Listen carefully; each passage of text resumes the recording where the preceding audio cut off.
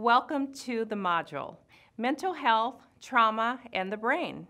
The outcomes for this module are advocate for policies and practices which address student and staff mental and physical health and trauma, address individual and institutional biases through tiered interventions, supports, and programming for underserved populations.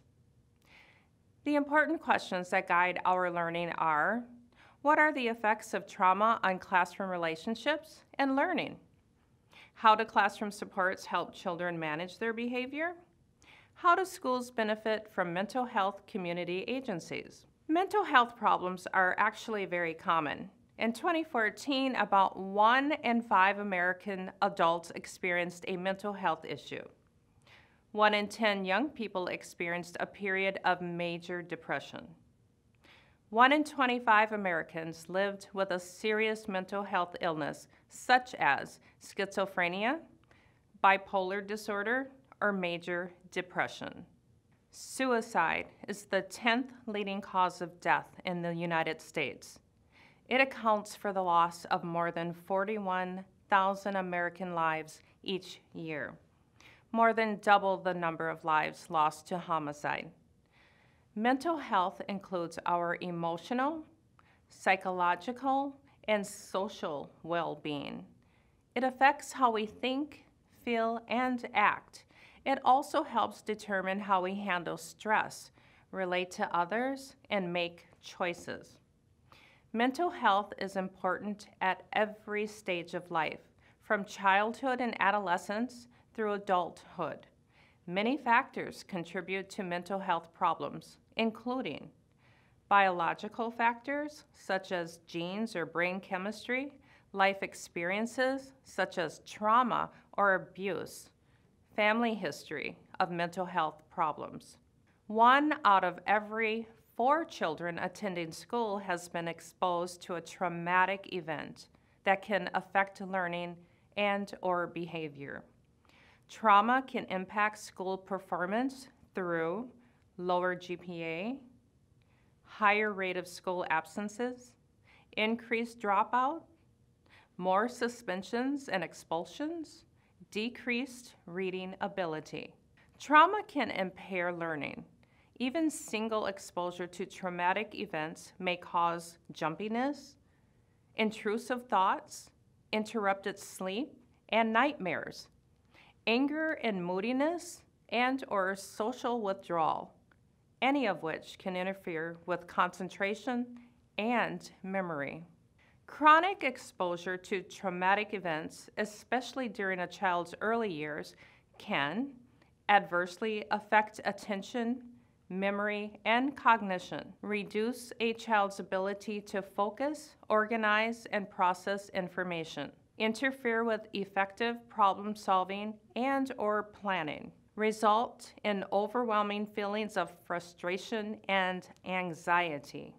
Adverse childhood experiences, or ACEs, are potentially traumatic events that occur in childhood. Examples include experiencing violence, abuse or neglect, witnessing violence in the home having a family member attempt or die by suicide.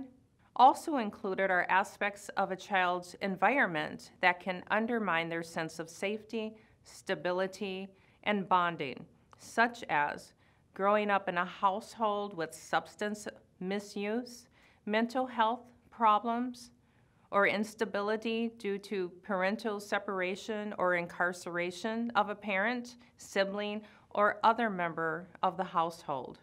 Adverse childhood experiences have been linked to risky health behaviors, chronic health conditions, low life potential, early death. As the number of ACEs increases, so does the risk for these outcomes. Trauma sensitive schools are summarized by safe and caring school climates where students achieve academic and social competence. Educational policies include components of social emotional learning and positive behavior supports. From bus drivers to administrators. All stakeholders of the school community work together as a team. And trauma-informed school practices.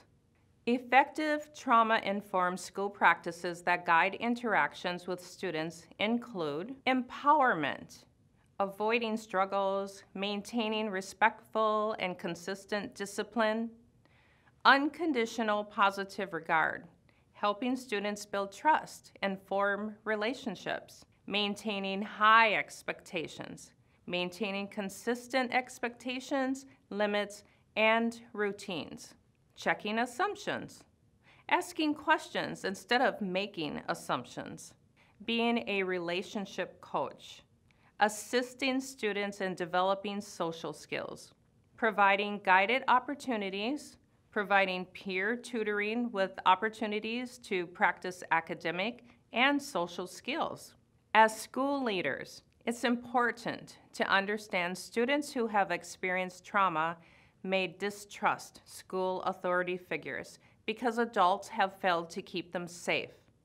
They may view rules and consequences as punishment thus increasing the potential for re-traumatization while increasing the likelihood that these children will be repeatedly subject to school discipline and exclusionary practices.